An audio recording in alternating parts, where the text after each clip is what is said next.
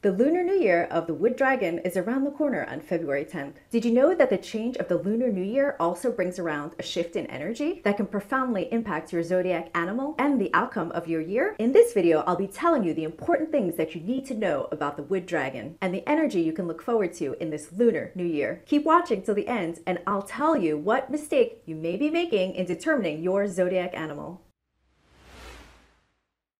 I'm Susan Chan, certified feng shui consultant, helping you create a beautiful and intentional space and a beautiful intentional life. If you want to learn about all things feng shui related set in the beautiful city of Paris, subscribe to my channel and click the bell for alerts for when I publish a new video about living an intentional feng shui life. When entering a lunar new year, there are always two things to think about the energy of the year coming in and the energy that the incoming year is specifically forecasting for you. 2024's lunar new year is the year of the wood dragon. The lunar new year always consists of, again, two parts the element and the animal. The element will always be one of five elements in Chinese metaphysics and the animal will always be one of the 12 zodiac animals. You can refer to the link in the description below for the chart. We always want to look at the energy of both components to determine the holistic energy of the new year. The element of wood signifies growth. Imagine a plant growing like a bamboo plant, its leaves growing ideally upward, indicating progression, development, and expansion. And the dragon, one of the most powerful and lucky animals in the Chinese zodiac since the time of the emperors, signifies strength, power, and authority. When the dragon year is present, there is potential for prosperity, leadership, and courage. Combined together, the year of the dragon is a year of strong opportunities with a lot of energy that you're going to have to take advantage of them. If you tap into the energy of this year, you can acquire creativity and intelligence, gaining respect like the dragon does, and achievement like the growth in the wood element. As we're all feeling the surge of energy from the wood dragon, competition will be abundant, so be sure that your health and energy are at its peak so you can take advantage of all these opportunities. Do you know what your zodiac animal is? Let me me know in the comments. If you don't know, refer to the zodiac chart in the description below. If you're born in January or February, contact me to confirm your zodiac animal because it can be tricky right at the shift of the lunar calendar. Now, everybody always, always asks me, will I have a good or a bad year? And my response always is it depends on you. There'll always be good and not so good energy. It's up to you to focus on the positive and great things in your astrology and life so you won't even have time to notice the not so positive things in your life.